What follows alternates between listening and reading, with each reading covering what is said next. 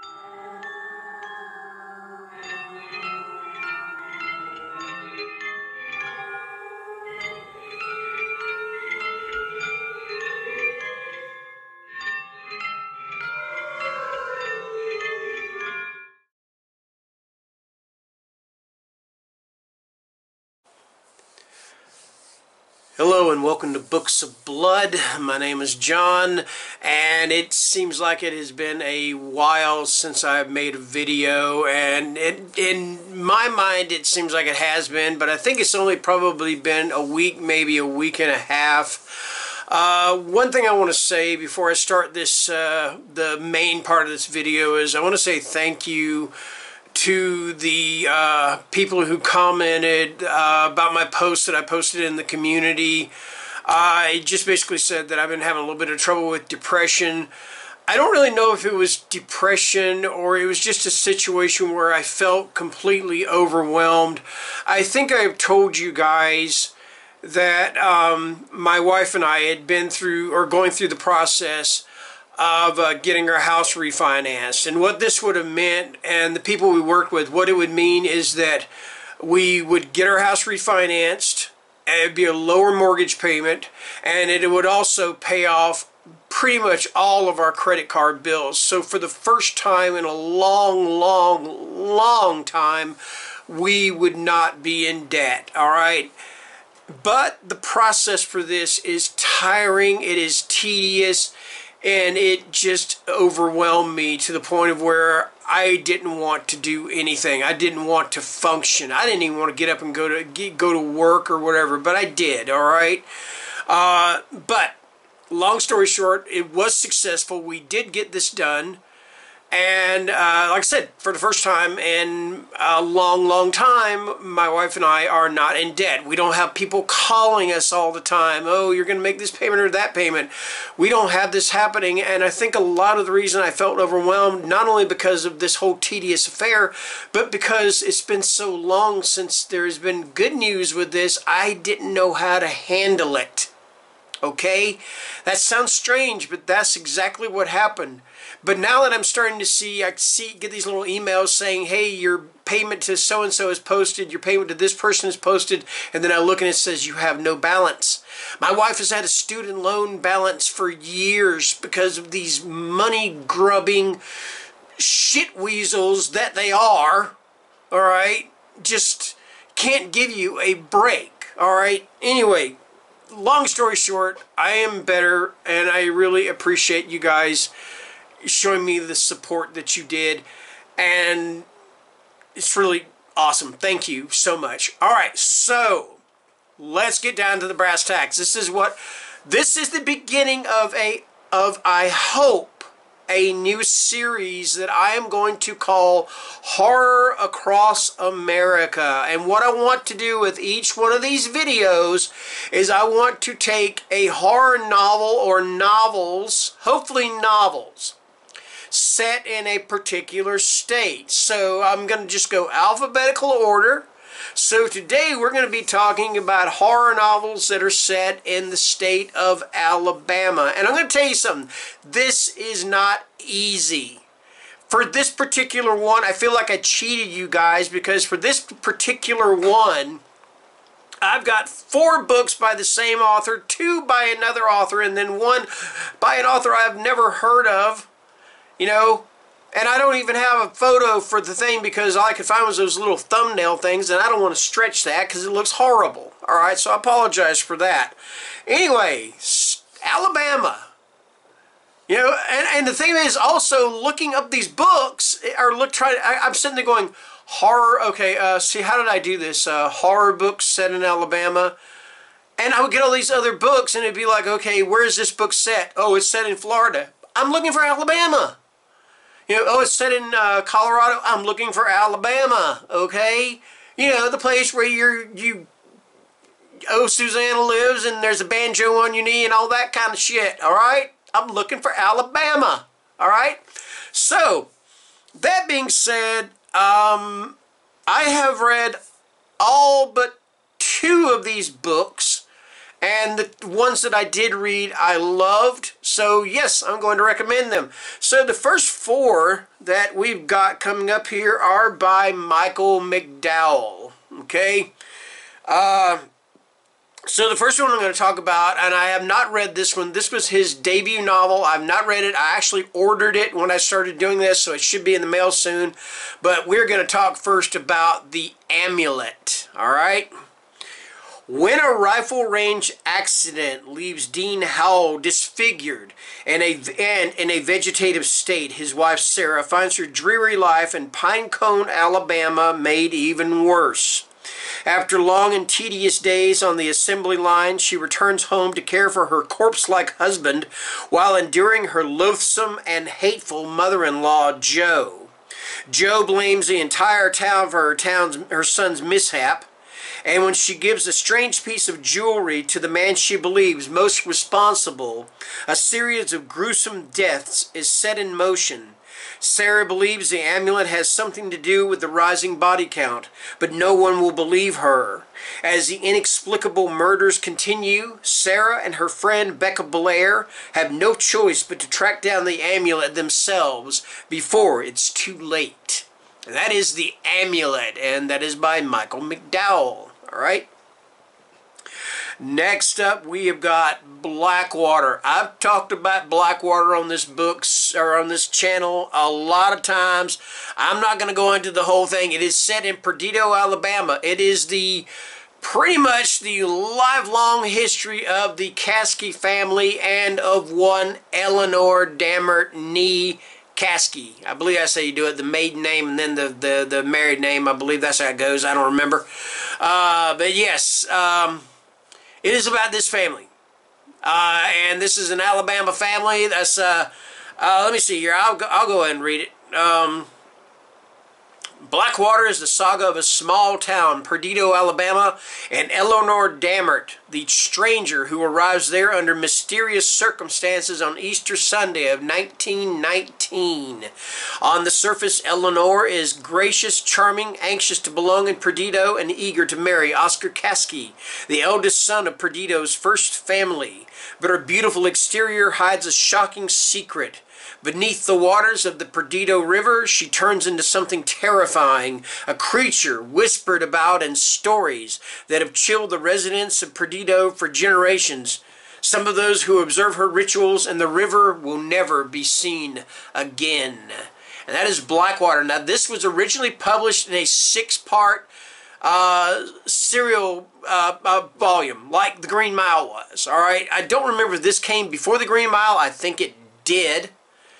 So Stephen King may have gotten a little bit of his idea for that from uh, Michael McDowell's uh, Blackwater, and he is a huge fan of Michael McDowell. All right, so it's a very big chance. Uh, and I read this originally in the serial form. I used to have all the novels. I wish I had them again, but I do have a big, huge volume of this book. I love this book. I love this story. I'll probably read it again sometime in the future, hopefully. But yes, that is Blackwater. All right, so let's go ahead and move on, all right? All right, so next up we have got Cold Moon over Babylon, and this also by Michael McDowell. Michael McDowell, Micah, Michael McDowell. Welcome to Babylon, a typical sleepy Alabama small town where years earlier the Larkin family suffered a terrible tragedy. Now they are about to endure another. 14-year-old Margaret Larkin will be robbed of her innocence and her life by a killer who is beyond the reach of the law. But something strange is happening in Babylon. Traffic lights flash in eerie blue. A ghostly hand slithers from the drain of a kitchen sink. Graves erupt from the local cemetery in an implacable march of terror. And beneath the murky surface of the river, a shifting, almost human shape slowly takes form. Night after night it will pursue the murderer, and when the full moon rises over Babylon, it will seek a terrible vengeance. Another absolutely excellent book by Michael McDowell. All right, loved it. So there you go. And finally, by Michael McDowell, we have got The Elementals. All right. Um, After a bizarre and disturbing incident at the funeral of matriarch Marian Savage, the McCray and Savage families look forward to a restful and relaxing summer at Beldame on Alabama's Gulf Coast, where three Victorian houses loom over the shimmering beach. Two of the houses are habitable, while the third is slowly and mysteriously being buried beneath an enormous dune of blindingly white sand. But through long, but though long uninhabited, the third house is not empty. Inside, something deadly lies in wait. Something that has terrified Dauphine Savage and Luker McCray since they were boys, and which still haunts their nightmares. Something horrific that may be responsible for several terrible and unexplained deaths years earlier, and is now ready to kill again. And that is The Elementals by Michael McDowell. Okay? All right, let's move on through our tour, of Alabama. Ding, ding, ding, ding, ding, ding. Anyway, all right. Um, so next up, we have two books by Robert R. McCammon.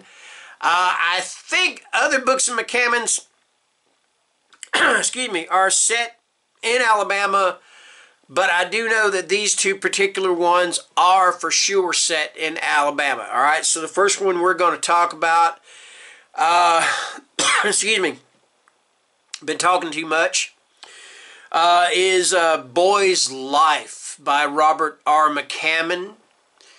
Uh, I, I think, arguably speaking, this is probably Robert McCammon. If people were to pick a favorite book of theirs by McCammon, they would probably pick Boy's Life. Uh, this is a coming of age, it is horror, it is mystery, it's all those things wrapped into one, and it's such a damn good book, all right? Zephyr, Alabama is an idyllic hometown for 11 year old Cory Mackenson, a place where monsters swim the river deep and friends are forever. Then, one cold spring morning, Corey and his father witness a car plunge into a lake and a desperate rescue attempt brings his father face to face with the terrible, haunting vision of death. As Corey struggles to understand his father's pain, his eyes are slowly opened to the forces of good and evil that surround him. From an ancient mystic who can hear the dead and bewitch the living to a violent clan of moonshiners, Corey must confront the secrets that hide in the shadows of his hometown, for his father's sanity and his own life hang in the balance. That is Boy's Life by Robert R. McCammon. And next up, we have Mystery Walk by Robert R. McCammon. Born and raised in rural Alabama, Billy Creekmore was destined to be a psychic. His mother, a Choctaw Indian schooled in her tribe's ancient mysticism, understands a permeable barrier between life and death and can cross it. She taught the power to Billy, and now he helps the dead rest in peace. Wayne Falconer, son of one of the most fervent tent evangelists in the South, travels the country serving his father's healing ministry. Using his unique powers to cure the flock, little Wayne is on his way to becoming one of the popular and successful miracle workers in the country. He helps the living survive. Billy and Wayne share more than a gift. They share a dream and a common enemy. They are on separate journeys, mystery walks that will both that will lead them toward a crossword road where the evil of their dreams has taken shape. One of them will reject the dark, the other will be consumed by it. But neither imagined just how monstrous and far reaching the dark was, or that mankind's fate would rest in their hands during an epic showdown of good versus evil. And I've actually got a paperback copy of Mystery Walk over here in my, on my bookshelf, excuse me. Uh, I've also got black. I got Blackwater. I'm just showing the uh, photos that I found online. It just it's easier for me to do. And all right, Okay, so last but not least, like I said, I do not have an image of the cover for this book. I'm sorry for that. The only ones I could find were those were like 324 by 400 pixels, and that's going to be like that. And if I stretch it, it's going to be all blurry. I don't want to put up put that up. But anyway, the next one I'm going to talk about, and finally, is The Year of the Storm, and this is by John Mantooth. Uh, this is an author I've never heard of. This is a book that I've never heard of. If any of you have read it, let me know. Is it any good? But, you know, it's an Alabama book. Okay. When Danny was 14, his mother and sister disappeared during a violent storm. The police were baffled. There were no clues, and most people figured they were dead. Only Danny still holds out hope that they'll return. Months later, a disheveled vet, Vietnam vet named Walter Pike shows up at Danny's front door, claiming to know their whereabouts. The story he tells is so incredible that Danny knows he shouldn't believe him. Others warn him about Walter Pike's dark past, his shameful flight from town years ago, and the suspicious timing of his return. But he's Danny's last hope, and Danny needs to believe. And that is The Year of the Storm, and that is by John Mantooth. All right? So, this is the first video in what I hope will be a pretty nice little series that I'm going to try to do called Horror Across America, which means I'm going to be covering every all 50 states. So the next one up is going to be Alaska.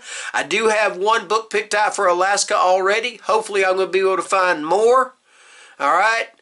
Uh, what I also may do if I can't find a particular book uh, or a book that is set in a particular state, I may try to find an author who is from that state and talk about some of their books, even though they may not be based in that particular state. But I really hope to find ones that are based in the state that I'm going to be, whatever state I'm going to be talking about. All right.